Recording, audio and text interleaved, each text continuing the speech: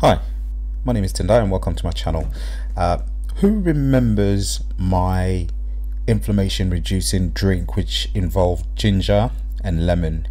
Now, this is the same drink, only this one you have it hot and you tend to have it any time of day, whether it's the morning, the afternoon, and the evening.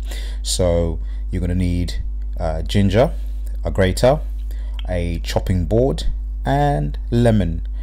Also, not to forget, if you prefer, sweetener or um, none if you if you prefer not to have any sweetener in there. I tend to have it with or without sweetener depending on how I'm feeling on the day and what when I have it and what I'm having it before, during or after.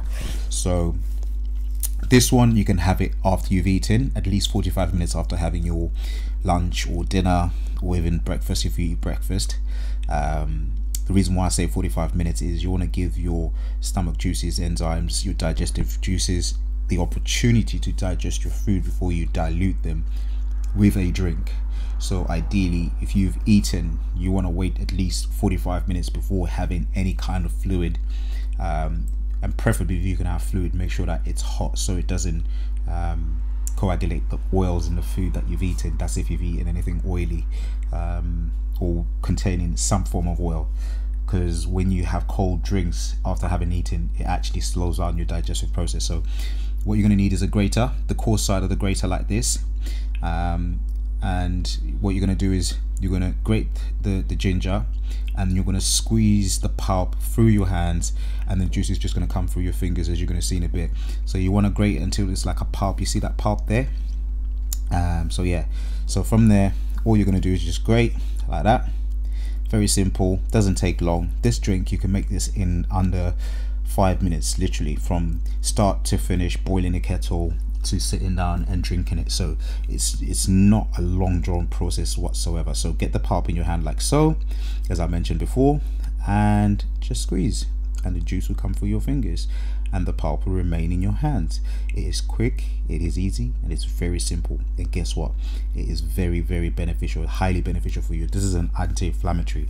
Ginger is anti-inflammatory, and when you do eat, or if you have it after food, it still helps with aids with digestion. It still aids with the absorption of nutrients into your body.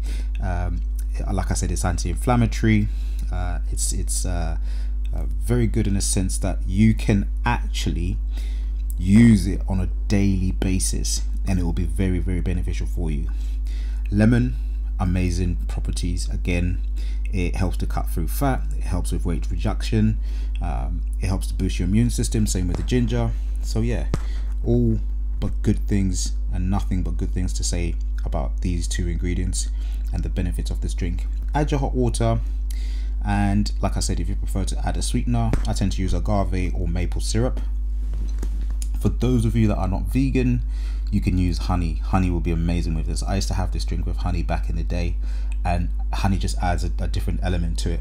Agave and maple syrup are, all, are both very nice. Um, but I, I, think honey goes really well with this because it's antibacterial as well, just like ginger. So it, it's got it's got very good properties of ginger keeps your breath fresh, calms nausea, soothes sore muscles, antibacterial, antiviral, reduces inflammation, valuable in managing arthritis, headaches and menstrual pain, stimulates circulation, benefits of lemon, promotes hydration, cleanses your system, supports weight loss, helps to cut out caffeine, helps prevent kidney stones, boosts immune systems. Minerals include potassium, calcium, phosphorus, magnesium, sodium, iron, zinc, copper and manganese. It's of water lubricates joints, delivers oxygen throughout the body, flushes out toxins and waste from the body, helps with weight loss, helps prevent heart disease, headaches, back pain, blood pressure, promotes digestion.